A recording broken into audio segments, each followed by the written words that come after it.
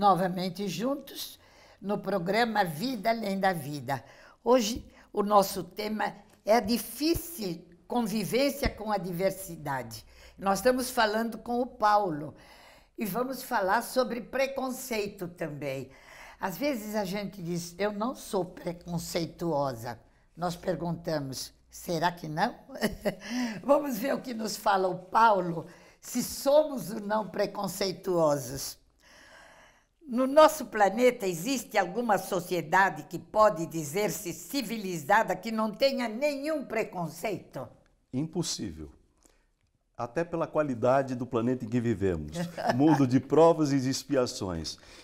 A natureza de nós, ainda espíritos ainda inferiores, vamos dizer assim, ainda fruto do nosso orgulho, da nossa vaidade, de frutos de aspecto cultural, também, porque a sociedade também imputa isso, às vezes, no, nos nossos entendimentos, nos leva ao preconceito. Dificilmente não teremos preconceito. Falando sobre a sociedade, me lembra muito de um filme de um negro americano jogador de beisebol, cujo vai jogar na Liga Americana nos anos 40, no sul dos Estados Unidos. E um menino ao lado do pai. Veja como o exemplo é importante.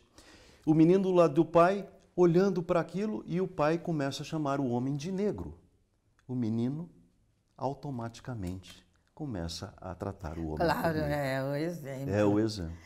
Porque existem povos considerados civilizados, povos em estado inferior em termos de economia e escolarização e moral, porque eles são também preconceituosos, não são, Paulo? São, é fruto da natureza do ser humano, ainda infelizmente arraigado, como falamos, no orgulho, na vaidade, no egoísmo. É fruto do ego, o preconceito.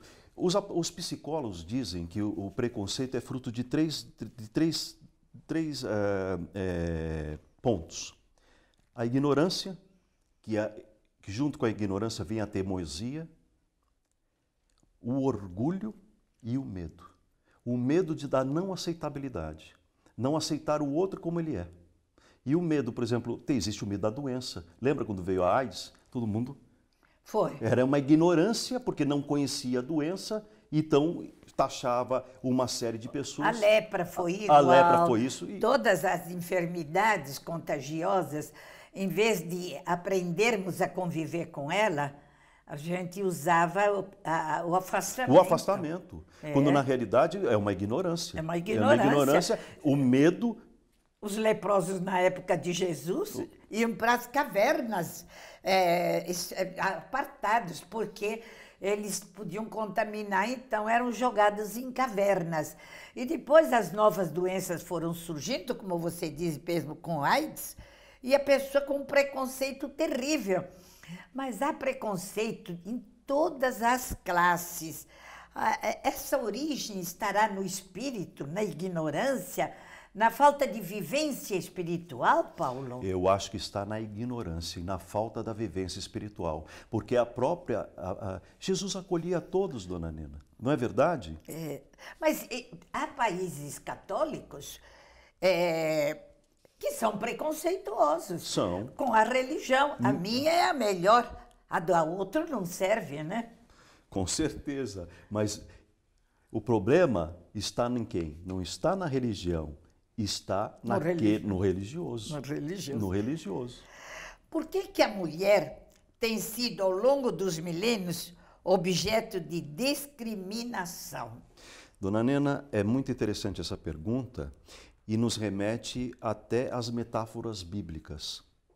Porque se a gente parar para analisar, a mulher nasce da costela do homem. É, sim. É inferior. É, e então, o homem que lhe tirou a costela.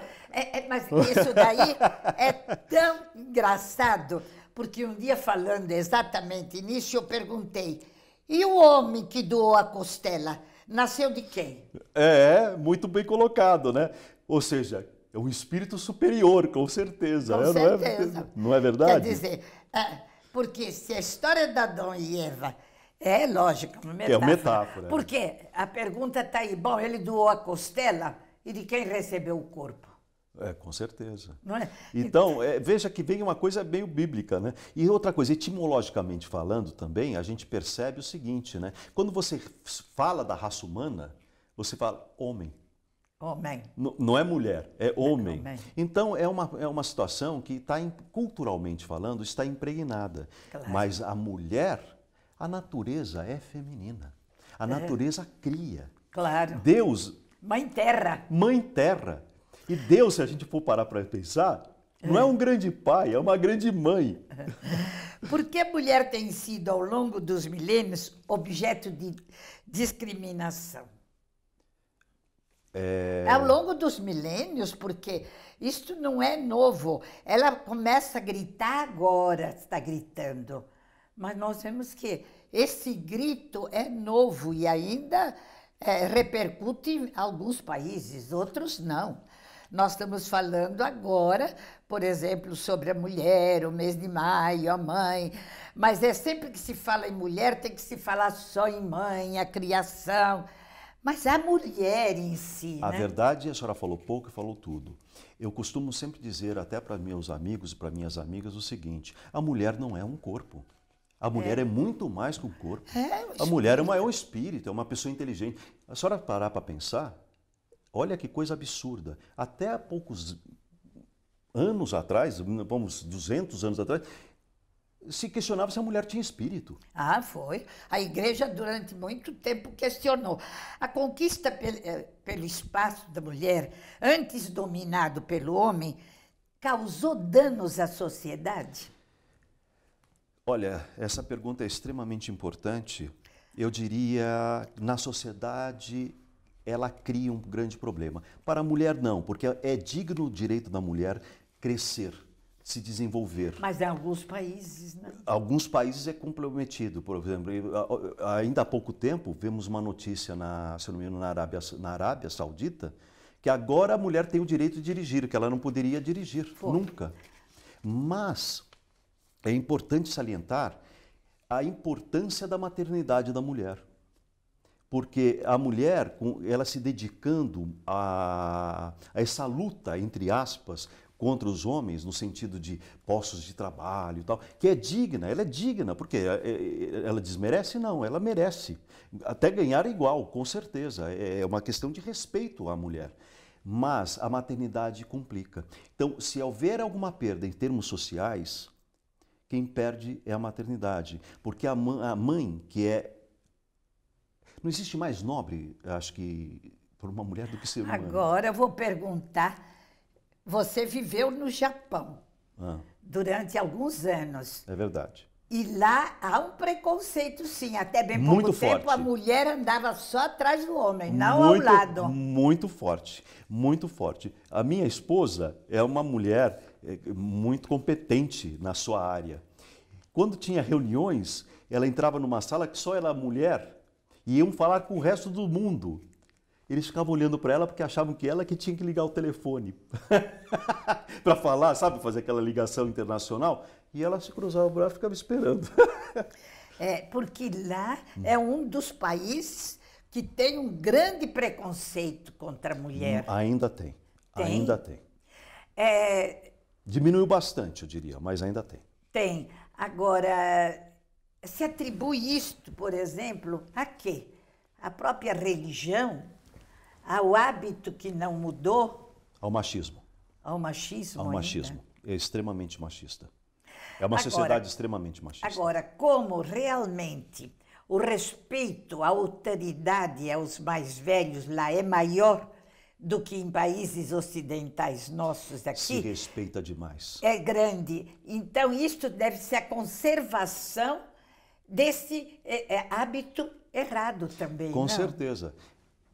A sociedade, de uma forma geral, a senhora falou a palavra certinha.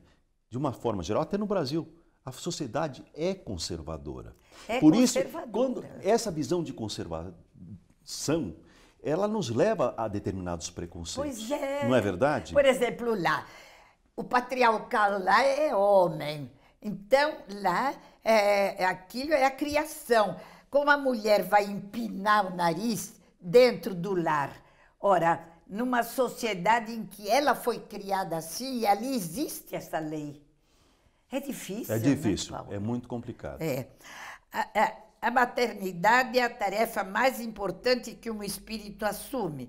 Você não acha que as mães são pouco valorizadas e cada vez mais a mulher menos quer ser mãe, né? Com certeza.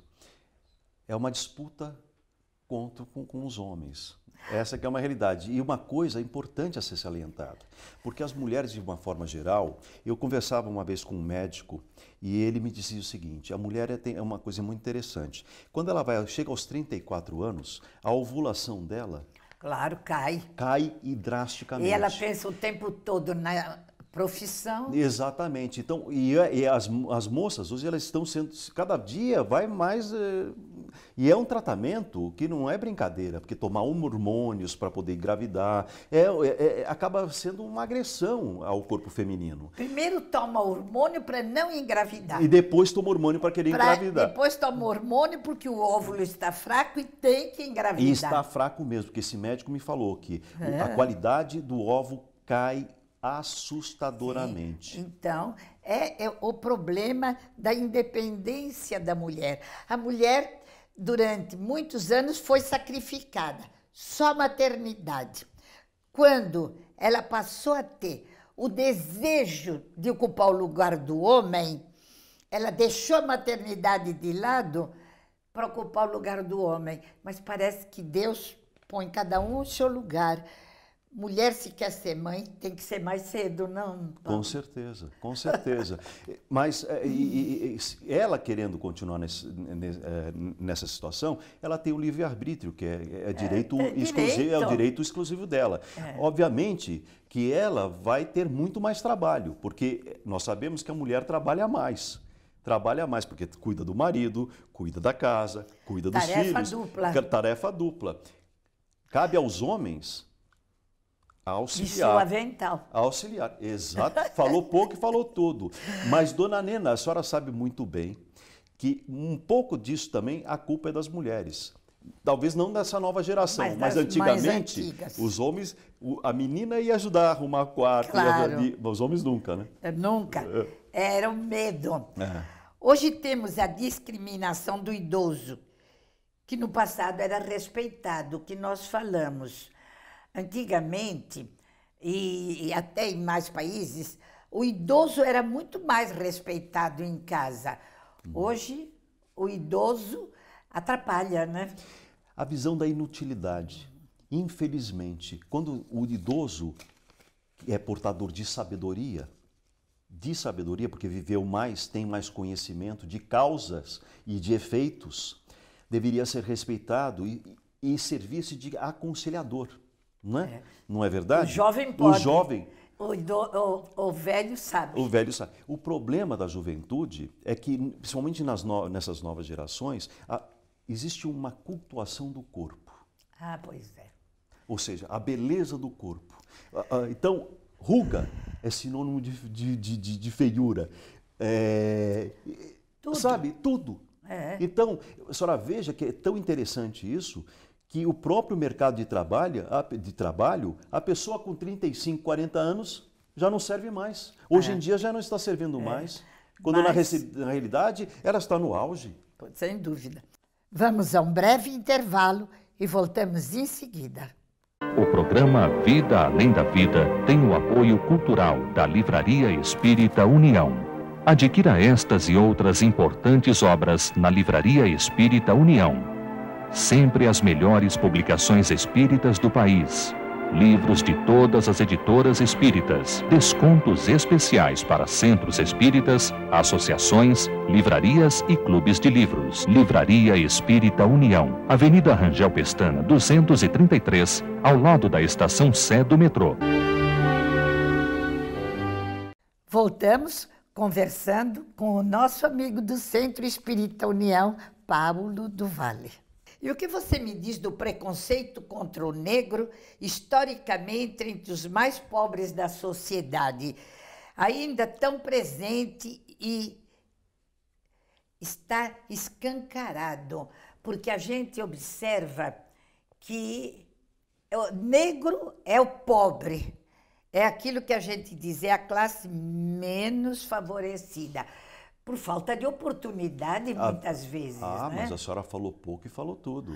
É, porque é inteligentíssimo, nós temos Ué. vultos, olha. A inteligência, o que é a inteligência se não Não é fruto pele. do conhecimento? Claro. A inteligência, a, a inteligência a gente, a gente adquire, não é verdade? A inteligência nós adquirimos através do quê? Através do nosso esforço, através do estudo, através da prática constante. Hoje nós temos médicos, apesar de, da colocação ser muito pertinente, mas nós temos médicos, é, é, médicos negros, nós temos políticos negros, mas infelizmente, Poucos. in- poucos, mas infelizmente ainda é a visão conservadora, entre aspas, da visão da sociedade. Ou seja, o negro é tido ainda como uma classe inferior. Está errado. Está No completamente meio errado. espírita apontado como conservador, porque ele é apontado como conservador. Há algum tipo de preconceito? Na Igreja Católica há. A mulher, o lugar da mulher é, não é o lugar do homem. Tanto que há uma luta muito grande para a mulher. Agora ela está podendo subir ao altar para ajudar numa missa, né? Uhum. A mulher tinha que trabalhar em conventos, a mulher tinha que fazer aquilo que para o homem não era dado, Não participava. não participava. O homem é que falava na religião, a mulher é quem trabalhava para dentro do espaço dela. E no meio espírita? Ah, tem. Tem? Tem. Eu acredito que tem.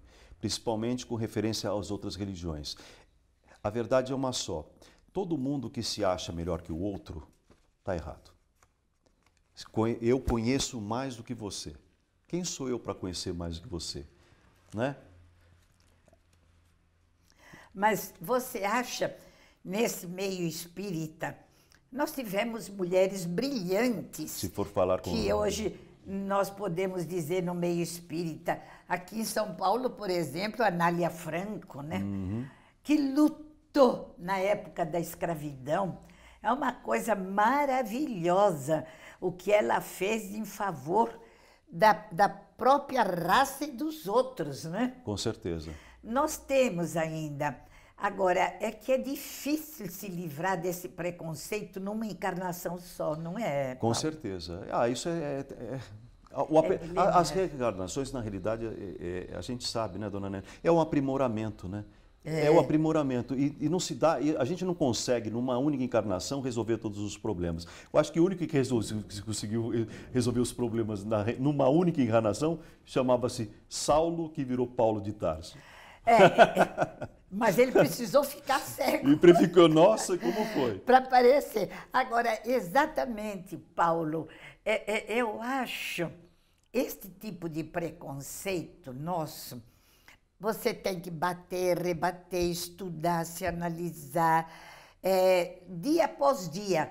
A religião ajuda muito isto, A não religi- ajuda? Sem dúvida, porque a religião, dona Nena, a senhora sabe melhor do que eu, é um freio.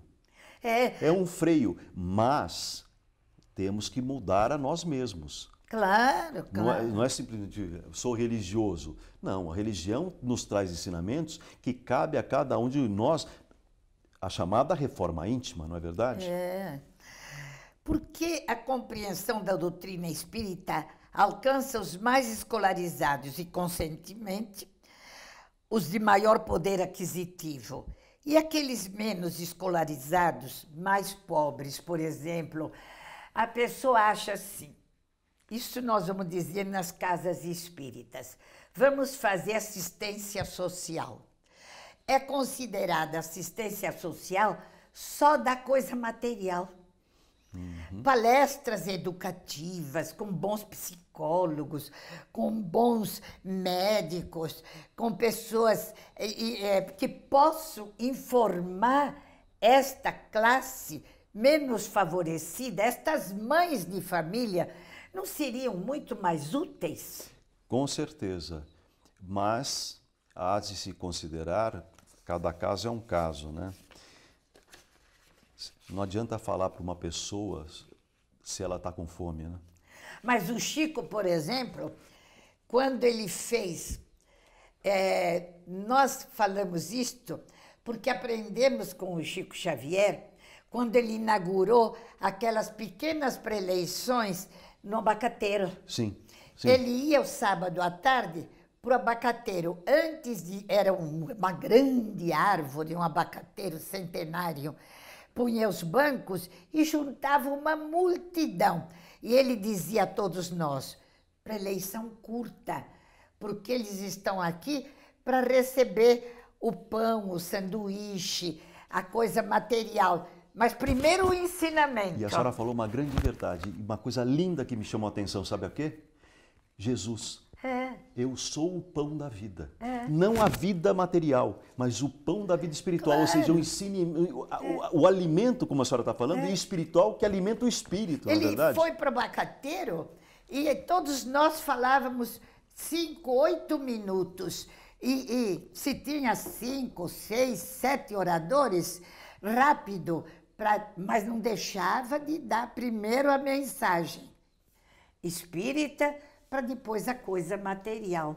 Que exemplo bonito isto, não é? Meu Deus do céu, a gente fica até emocionado. É, é, é por isso que quando que agora... me remete, me lembra aquele abacateiro, aquela, ele sentadinho naquele banco com o evangelho. Né? Eu instituí na União esse processo, não tem o pé do abacateiro. Mas o pessoal dizia, não, mas os assistidos não querem. Não querem como crianças. Hoje eles vão aceitar mais um pouco, amanhã mais um pouco. É um processo, né, dona É, não é? É um processo, é. é. Então, é, é, a tal história. Nós também precisamos disso. E né? outra coisa, quando eles vêm, eles são tratados com muito carinho e com amor. Então eles vêm mais, vão, vão, vão buscando, vão pegando. É. Nós também não aprendemos É a mesma assim. forma, né? Eu aprendi com o Chico quando ia ao Uberaba, exatamente indo ao abacateiro.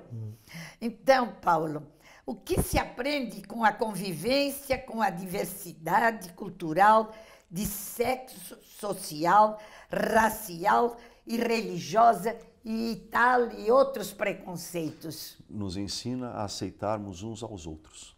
Porque, olha, Lembrando- numa casa espírita, quando você trabalha junto, está junto, você convive com sexos diferentes, ra- é, Raças diferentes. sociais, raças, partes religiosas também, porque nem todos chegam lá que são espíritas, não? Essa eu vou até falar para aquela, pra aquela, pra aquela câmera. Nosso Senhor Jesus Cristo, muito sabiamente, nos ensinou o seguinte: qual é o maior mandamento da lei? Amar a Deus sobre todas as coisas e ao próximo como a si mesmo. Ele não define cor, ele não define sexo, ele não define nada. Todos somos irmãos perante Deus. Não é verdade, dona Nina? Aceitação é muito importante, não é, Paulo? Agora, numa sociedade em que realmente um quer passar na frente do outro, Ah. você vai excluindo automaticamente, né? automaticamente. Mas também é uma dureza dos corações, né? Porque quem somos nós? Nós somos melhor que alguém? É, mas isso dentro de uma sociedade que a hierarquia é muito ela, importante. a hierarquia hierárquica. existe. A hierarquia, a senhora sabe melhor do que eu. Ela existe até no plano espiritual. É, Não é verdade? é, é uma hierarquia às vezes dolorosa, Dolorosa, não é, Paulo? dolorosa. Dolorosa, porque ela vai excluindo a pessoa. E você não percebe quando você ganha um status. Você não percebe que na sociedade você vai excluindo. Eu sou o patrão, você é o operário. Eu sou o rico, você é o pobre. Eu sou branco, você é o negro. Ainda é. Então, é, é praticamente você vai excluindo esse preconceito. E conviver com todos é um aprendizado. É né? um aprendizado. Lembrei de um amigo meu que adorava Fusca. Milionário. Milionário. Uma vez, sem querer, fechou uma moça numa, num carro importado. Parou no farol e abraçou o, o vidro para pedir desculpa. Desculpas. Sabe o que ela falou? Para ele, seu pobre. e ele, na realidade, é um. Eu conheço.